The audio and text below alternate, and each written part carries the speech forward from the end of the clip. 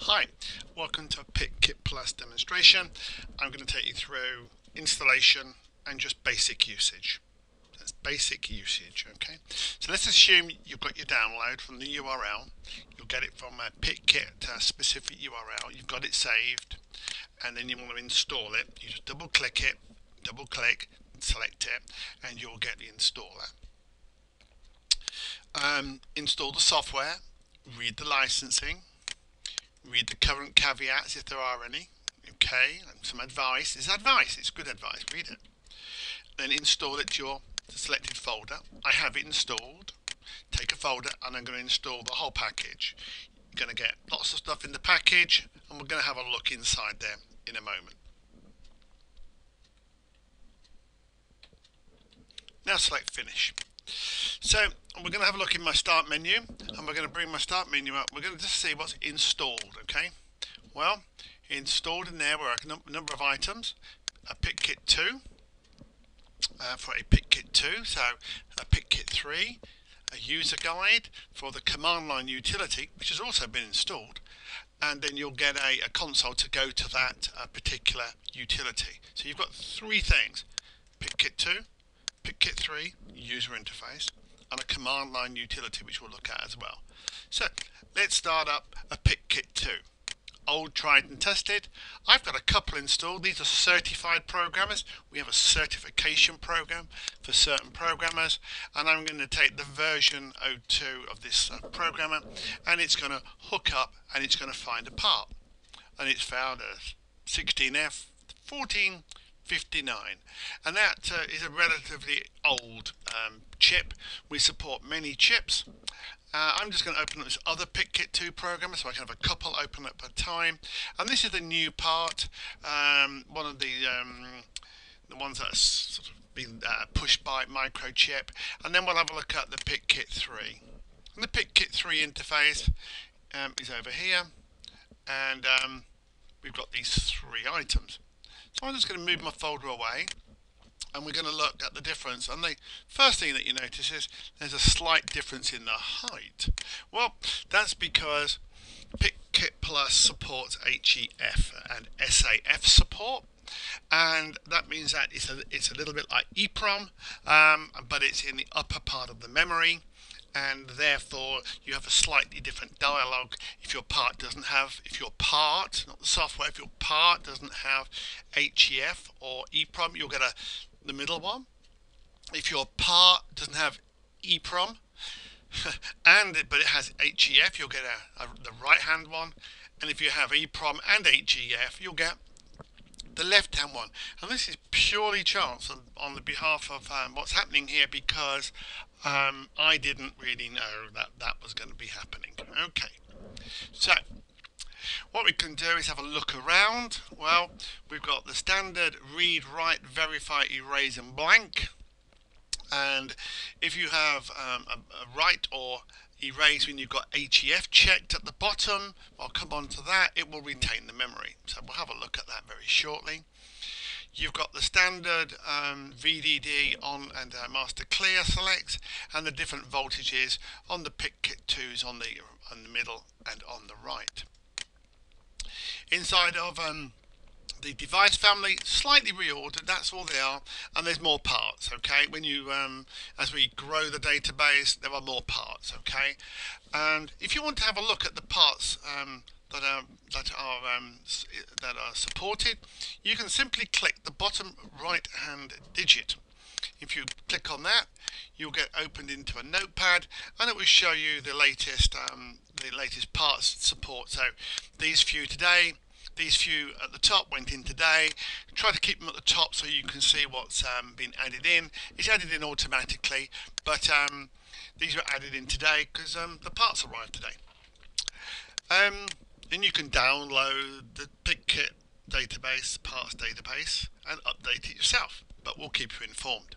Now, the important thing is that the database, you can't use the old database and expect the same functionality in the old software it does not work. There is additional functionality, a lot of it, in this in this software, which enables us to read the newer parts and write to the newer parts. We have new protocols, new information in the database, etc. HEF, SAF is not specified in the old software or the old database, neither is the new protocols. Okay. In terms of um, family, we can sort of look through if you were doing manual select. Now in Programmer, you've got your standard rewrite, uh, read, write, verify, erase and blank. This is the same as the buttons on the front. You've now got um, a, few more options in here. You, you, you, had verify on write before, clear memory, hold in reset, that's um, from the old one. You've now got enable HEF, SAF um, auto merge, and, and if you've got HEF or SAF and you want to auto merge the part with your program, it will do that automatically. Um, you've got the alerts, that's been fixed because it was broken. Um, you can write on the pick button. If the pick button worked in the past, we haven't changed the functionality. Um, you have manual device select, that's the same as before, and then you can turn off auto detect on start. You need this for certain parts. You need it for 12Fs, you need it for loads of different parts.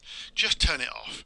It's a nightmare. It was it's not a good it is not good to automatically select on detect okay so I shall turn that off I shall turn it off and when it saves when it saves um, these it will save that away me so what's new in here remember is um, HEF auto merge and auto detect on start in the tools I don't think anything's changed in there nope nothing's changed I've removed the um, uh, Windows, but you've got all the help and all that sort of works now. Okay, and we'll be updating this uh, substantially as we as we go along. So you've got all the data um, and all the um, help that you need. If you want, to see the uh, parts supported, you can click it here. If you want the help, it's actually you want the README for the software. It's there. If you want the um, PICkit Plus on the web, there's a link to that. There's the user guides. Uh, there's all the user guides, and we're updating the user guides continually. Okay, a lot of work. And then there's the about, and the about are very similar.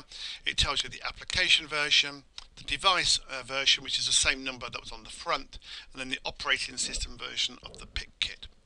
Link to the um, online uh, website, and then the um, mandatory license agreement with Microchip. Okay, so that we can do this. So let's um, we do a standard, um, we do a read into this um, LF uh, 1252. Look, we've got some code on there, and we can verify it and write it, and it will do its funky stuff. It's doing it. It does what it, it does what it says out of the box. Okay, yeah. Um, it does exactly what it says. I'm guaranteed on my oscilloscope on the right hand side there is a three second, um, a three second um, uh, square wave.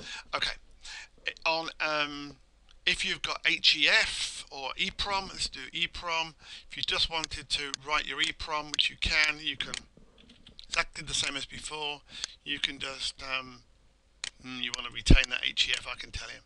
Uh, you can write. Um, I've got I've got HEF on this chip, so I want to retain it. Okay, I don't want to lose it when I write it. So um, I've written out some values into here, and in the bottom of in the, I thought had some values, I didn't. Um, in the bottom of here you can see that um, it's got a slightly different color and that's because these are the protected bytes and we'll have a look how that works over here this is a, another another a 16F and you can change the amount of protected RAM. If I read the part in you can see I've got the numbers 1 to 32 that were in there. If I look at the top of memory there's oh there's a program.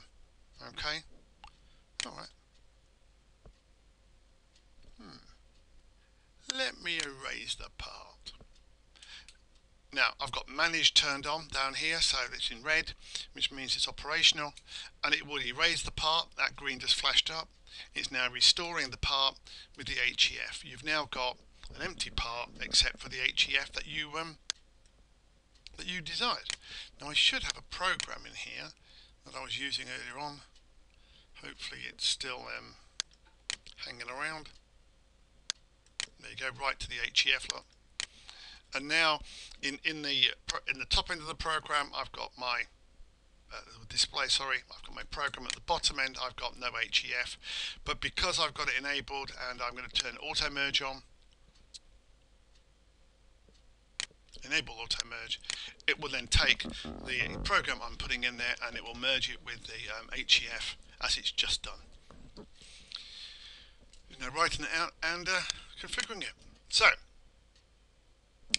that's a quick flyby of PICkit Plus installation and basic usage. There'll be more.